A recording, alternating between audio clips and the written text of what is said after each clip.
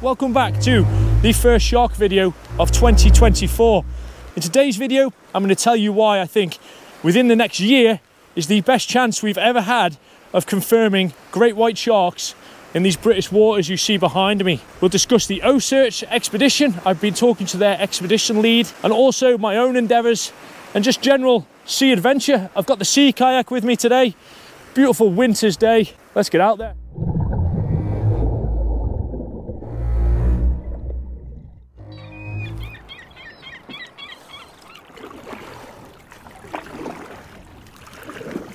The wind's picked up a little bit since we've been out, but she'll be all right. Before I tell you why I think this is the year, and for those benefit who've not seen all the videos, I'm gonna do a one minute to two minute breakdown of why I think the sharks are here. First things first, common misconception, UK waters are too cold for great white sharks. Great white sharks are a Lamnidae shark, so they can regulate their own body temperature in much colder environments, such as the short-fin mako, the porbeagle, which are in our waters. The porbeagle, by the way, there was one caught just out there about three months ago on a small fishing boat, just like my warrior, and they are the closest living relative to the great white shark. Also, the coldest ever recorded shark attack was in six to eight degrees Celsius water. The water today that I am in is 11 degrees Celsius, and in summer, certainly here on the island, near Cornwall, etc., you're looking at the realms of 17 to 20 degrees Celsius, so well within range. She's picking up, boy. Food sources, is there anything for them to eat in our waters? First things first, Scotland has the biggest seal colony in Europe and the second biggest seal colony in the world, I believe. Plenty for them to eat. Certainly where I live, there's plenty of seals. There's one that seems to frequent this area and you've seen me free dive the seal colony at the south of the island plenty what about sightings i did a full video on sightings we haven't had many recently but the blue fox encounter, I would say, and the one up in Ullapool are probably the two best. There's a video on the channel discussing those in a bit more detail. Go check those out. The closest ever recorded shark to British waters was in the Bay of Biscay, 177 nautical miles from England. That's absolutely nothing. In fact, Cornwall is probably 200 nautical miles from where I am right now. The conditions here have got a little bit worse, so what I'm going to do is I'm going to bring the boat in, We've been out here about half an hour. I did have a little fish, but there's nothing around. The wind's picked up, so I'll bring it in and then we'll discuss why I think this is the year.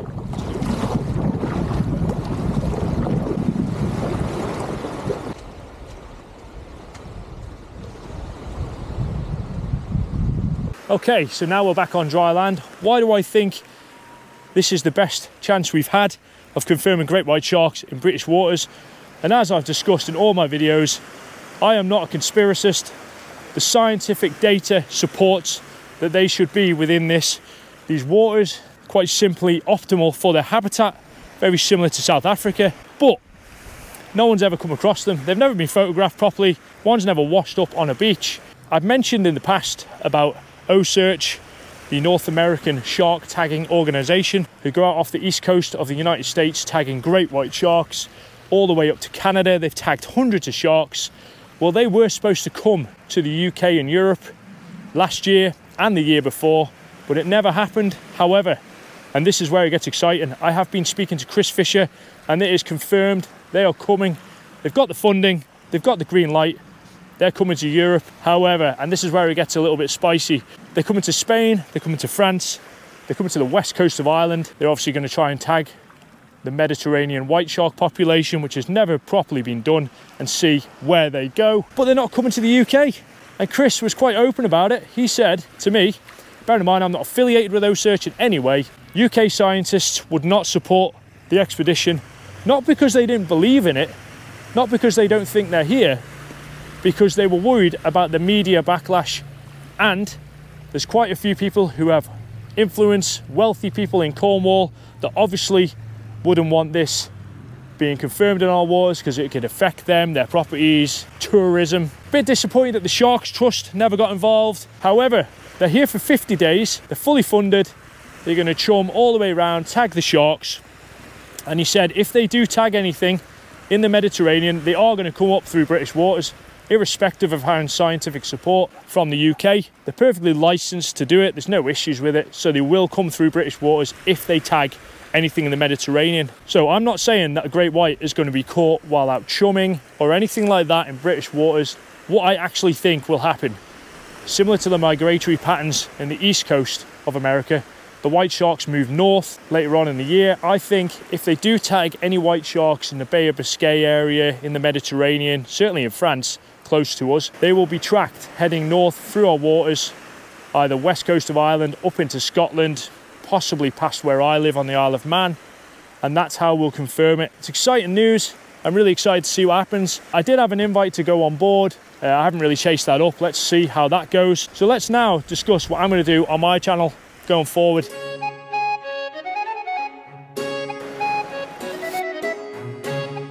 So where does that leave me and my endeavours? Well, to be honest with you, I've covered pretty much everything I think I can cover scientifically and all the sightings up to date where we're at now. I'm not going to just keep making videos for the sake of it. There's nothing else new to say. So going forward, I still will be getting out on the boats, exploring. It will be more from a sea adventure angle. Uh, of course, I will be searching for marine life. I live in a basking shark hotspot. You know, we've had all sorts of different types of species, swordfish, humpback whales in our waters. So I'll be looking for those as well. Porbeagle sharks, mako sharks, Obviously, it would be great to come across a great white. Whether that happens or not, highly unlikely, let's be honest. I'm only going to cover shark related videos going forward if A, a sighting that I think is worth covering comes up, or if something large washes up on our shores like we saw with the uh, small tooth sand tiger sharks last year. I think I just keep it real, guys. I'm not going to become one of those people that bangs out videos week after week. I mean, I don't think I've covered a shark video in months uh, just for the sake of the YouTube algorithm. I've got a perfectly good job. I have no desire to become a YouTuber as a career. I do this as a hobby, so I hope you can appreciate that. Where I'm up to with the boats, I've sold the Warrior boat. The engine was knackered and it was going to cost the best part of £9,000 to replace it. And I wasn't going to do that on a boat from 1998. Let's face it, I'm not willing to spend that amount of money on something that old. So I think going forward, I'd like to buy a rib. For now, we've got the Sibs, we've got the soft hull inflatables. I've just upgraded to a 20 horsepower Tohatsu brand new engine and also an extreme trailer so I can go all around the island without having to inflate and deflate. Stay tuned for that, it's going to be quite exciting. So anyway, guys, what do you think? Do you think they're in these waters? I ask in every video. You know, it's interesting. Look at the shark tracker from OCEARCH. If they tag a shark later on this year in the Med or off France or wherever, we will see where it tracks. And it's going to be interesting because I do personally believe mark my words, they track up north, certainly towards Scotland. The orca population up there is not enough to scare off the great whites. That's a behaviour that's learnt. I don't think they have that in that pod. But who knows? I am not a marine biologist. And I'm basically I'm asking the question, why aren't they here? Because they should be. Don't think there's anything to be worried about, guys, by the way. Our waters are perfectly safe, even if they confirmed great white sharks were here tomorrow. I'd carry on swimming in the sea here. Just while I've been sat here now, I did a quick Q&A on Instagram say I'm making a video. Okay, so straight up, Welsh Adventurer. How long do sharks live for? Well, the Greenland shark can live up to 250 years, which is insane. C. Sanchez 95. Any more credible great white shark sightings in the UK? Nope. There are none that I know of. The British media every summer go mental, posting great white shark stuff all over the internet uh, but there's been nothing credible. Finch Neal, an Australian manxman. Would you free dive with a tiger shark or great white if the opportunity came about?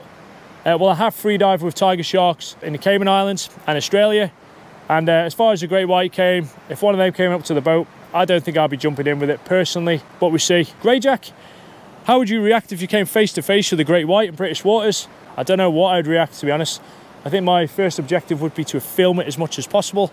Uh, I have come face to face with a great white but it wasn't a cage and it was shark cage diving on the Neptune Islands in Australia. Uh, Jordan Bullock, are there any sharks that could be potentially dangerous when swimming in Cornwall further out?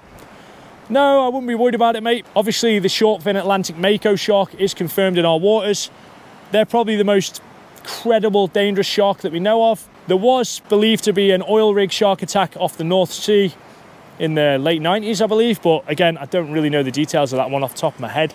Uh, but yeah, perfectly safe, mate, perfectly safe. My biggest objective right now is to find wild orcas. They come past the island every year off the west coast of the island, heading up to Scotland. So If I get that shout, especially having the boat with the trailer, I'm going to go full send and try and find them. One other thing, at Wakem this week, North Sea Surfer on Instagram sent me a picture of a, a seal that would uh, clearly been bitten in half. Uh, he said it was still bleeding when it washed up on the beach. Uh, there were fins spotted in the area, possibly dolphins, uh, but couldn't obviously say. But uh, as far as the current adventure goes for me, stay tuned. We'll see how the channel goes. I'm only going to post shark content if it's actually viable. And obviously I'll keep you updated with those searches endeavours because I do speak to Chris Fisher now and then. But I'm really excited for the summer. It's only February, first sea adventure in the books. I'm really looking forward to getting out there on the inflatable boats and seeing what else marine life and sea adventure and camping off the remote beaches and diving, free diving we can do. Thanks again for watching guys. I'll see you on the next one.